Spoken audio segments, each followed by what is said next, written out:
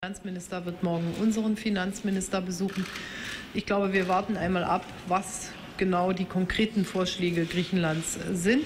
Deutschland hat seit Jahren eine Politik, die sagt, äh, alles, was wir tun für Griechenland, ist darauf gerichtet, dass wir wollen, dass Griechenland äh, Teil des Euroraums äh, bleibt. Und so wird sich diese Politik auch fortsetzen. Die ändert sich von deutscher Seite nicht.